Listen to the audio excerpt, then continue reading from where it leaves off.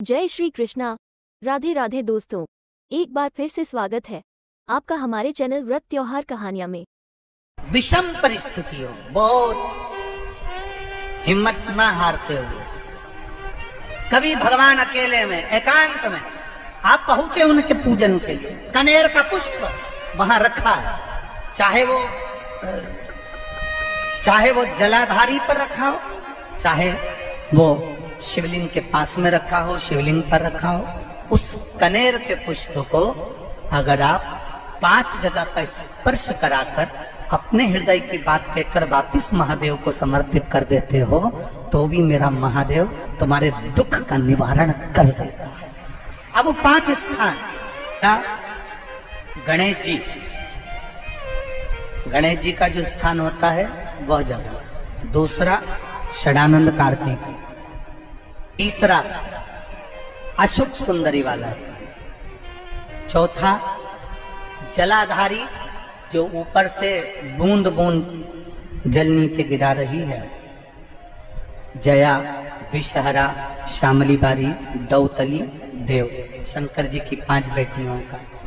और पाँचवें नंबर का है शंकर भगवान के, जो कैसे वर्णन किया जाए, त्रिशूल के तीन भाग होते हैं। तीन भाग का जहाँ मिलन होता है, पंचम स्थान, ये पांचवा स्थान, यहाँ पर स्थित होता है। और वो तीनों तरह के जल का अलग अलग भाव है महाराज पहला जल, सादा, घर से पानी लेकर गए, जल लेकर गए, शंकर को चढ़ाया, वो हमने घर का अपना एड्रेस बता दिया, भगवान शिव को जल चढ़ाकर अपने आनंद के लिए शंकर से कुछ प्राप्त कर लिया। दूसरा जल जल के कलश में थोड़ा सा इत्र डालकर, शंकर को जब समर्पित करते हैं तो महाराज, घर में अगर कोई व्यक्ति बहुत रोगीला है बहुत रोगीला शिव महापुराण में, स्कंद पुराण में, नर्मदा पुराण में, भविष्य पुराण में अग्नि पुराण में, नारद पुराण में बरहा पुराण में, बामन पुराण में जितनी चीज़ें लिखी गई है एक एक प्रैक्टिकल कर कर देखो। तो शिव महापुराण, स्कंद पुराण का ये भाव याद करिए कि एक लोटे पानी में इत्र मिलाकर, जल में इत्र मिलाकर, बहुत रोगीला व्यक्ति, बहुत बीमार व्यक्ति है, एक लोटा पानी, उसका हाथ का स्पर्श कराकर शंकर को चढ़ाना प्रारंभ कर दीजिए। महाराज, केवल पाँच या सात दिन चढ़ाओ, और वो सात दिन के बाद में उस बीमार व्यक्ति का क्रम देखिए कि उसमें कितना आराम लगा है। औषधि, दवाई, काम करना प्रारंभ करी कि ना करी। केवल इत्र समर्पित, इत्र का जल। तो पहला जल सादा दूसरा जल है इत्र का, और महाराज तीसरा जल, जो शिव महापुराण के अंतर्गत कहा गया है बेल पत्र का जल।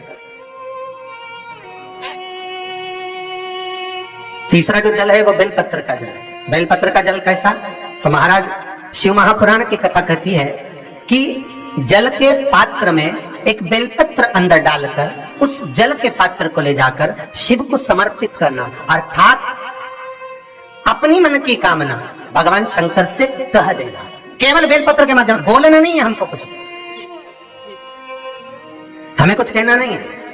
तीन तरह का जल का जो व्याख्यान वर्णन किया गया, एक सादा जल जो भगवान को कहा, आपने अपना एड्रेस बता दिया, आपने अपने मन का भाव बता दिया। इत्र का जो जल चढ़ाया गया, वो केवल रोग मुक्ति के लिए चढ़ाया गया। और तीसरा, बेलपत्र, अगर उस जल में एक बेलपत्र भी पड़ी हुई है, और वो बेलपत्र पड़ा हुआ जल आप जिस भाव से चढ़ा रहे हो, जिस कामना से चढ़ा रहे हो, शंकर, वो कामना आपकी पूर्ण कर देते हमें उम्मीद है सभी दर्शकों को ये वीडियो पसंद आई होगी। अगर पसंद आए तो वीडियो को ज़रूर से लाइक करें ताकि हम हर रोज आपके लिए ऐसे अचूक उपाय ला सकें। जय महादेव, श्री शिवाय नमस्तुभ्यम।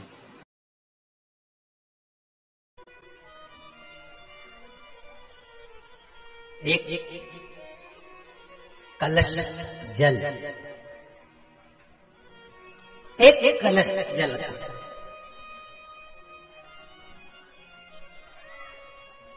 एक बेल पत्र कभी कोई विशेष कार्य है, अटक रहा है, बहुत दिन से लगे हो, नहीं हो रहा।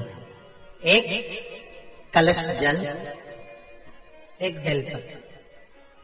शिव मंदिर में जब बेलपत्र लेकर जाएँ, बेलपत्र रखी सीधे हाथ में, उसके ऊपर रख लिया कलश, उसमें जल भरा हुआ हो।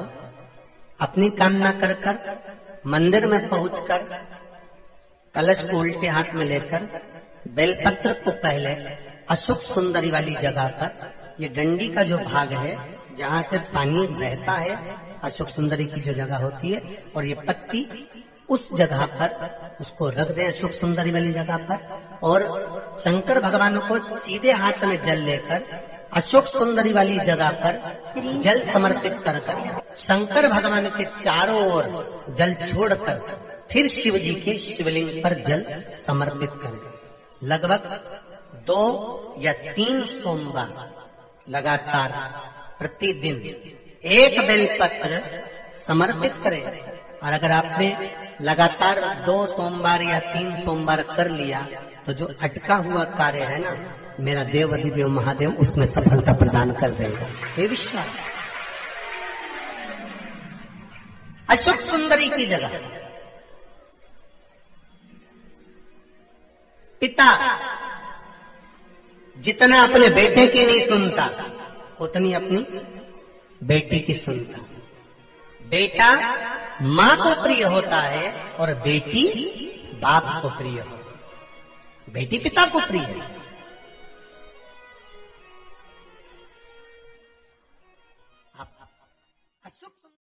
आप पर सदा बनी रहे। आ गया पूर्णिमा की रात्रि। बड़े से बड़ी बीमारियाँ, बड़े से बड़े रोग, बड़े से बड़े बड़े कष्ट, इस पूर्णिमा की रात्रि को छूट जाए। जिन बच्चों के नेत्र कमज़ोर होते हैं, रोशनी कमज़ोर होती है, पूर्णिमा के दिन रात्रि को 12 बजे भगवान चंद्रदेव का दर्शन कराइए। आज से सात मिनट तक नयन मिलाए चंद्रदेव के साथ। और बाद में एक पीपल के पत्ते पर खीर जो चंद्र के नीचे रखी हुई है, उसी खीर को चटा दीजिए। फिर चंद्र का दर्शन कराओ।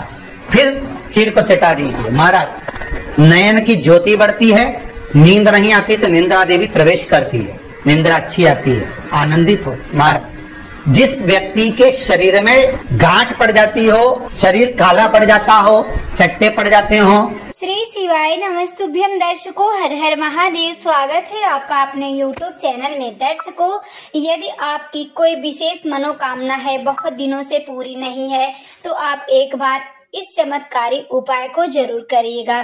दर्शकों, महादेव की शिवलिंग की आप प्रतिदिन पूजन करें। एक लोटा जल समर्पित करें।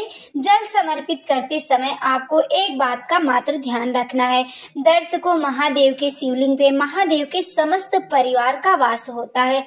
ऐसे में यदि आप महादेव की शिवलिंग पे जल समर्पित करते हैं तो आपकी पूजा में गणेश जी, कार्तिकेय माता, पार्वती देवी अशोक सुंदरी भगवान शंकर की पाँचों पुत्रिया और महादेव की पूजा हो जाती है। मात्र एक लोटे जल से तो पहला जल आप गणेश जी के स्थान पर समर्पित करें।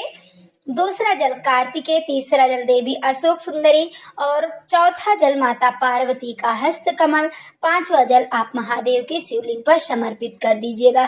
दर्शकों, जो भी व्यक्ति इस तरह सालाना महादेव की शिवलिंग पर जल समर्पित करता है और श्री शिवाय नमस्तुभ्यम मंत्र का जाप करता है, उसके सभी कष्ट दूर होते हैं, मनोकामना पूरी होती है। श्री शिवाय नमस्तुभ्यम दर्शकों, वीडियो आपको अच्छी लगी हो तो लाइक ज़रूर करे, चैनल को सब्सक्राइब करे, कमेंट में श्री शिवाय नमस्तुभ्यम ज़रूर लिखें।